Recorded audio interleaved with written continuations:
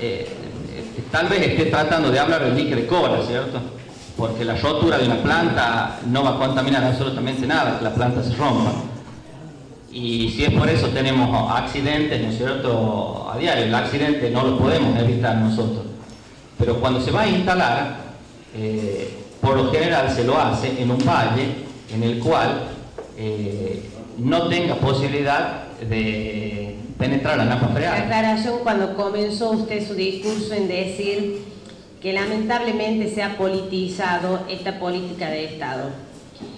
Eh, sí, se ha politizado y debemos todos reconocerlos. Eh, al cual lo apruebo, cualquier reclamo que fuese, no solamente en cuanto a este tema, en donde nos debemos hacer eco todos los ciudadanos, pero por sobre todas las cosas, cualquier reclamo es legítimo. Este, hemos visto carteles en donde decía, y hemos vuelto años atrás, a los 70, militarización del Famatina. A mí me preocupó eso, ingeniero, de, manera importante. Em, muchos carteles del comunismo también se han visto en las marchas. Creo que estamos en democracia, tenemos derecho a expresarnos.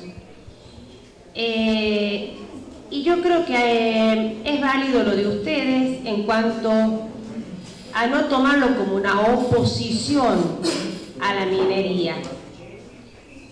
Creo que ustedes deben producir una alternativa que, es diferente. No es solo por justificarme, pero sí quiero hablarte de la criminalización y quiero que entiendas cuál es la impotencia que tiene la gente de Famatina. Les quiero mostrar un video que muchos lo han conocido recién.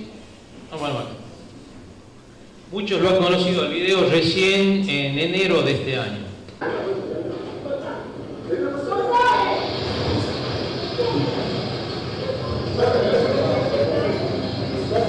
Sido agredidos salvajemente, no te enojes, yo no terminó en una denuncia a los llamando a indagatoria. Esto es criminalización de la protesta. Famatina lo está sufriendo en esto y en otras cosas más.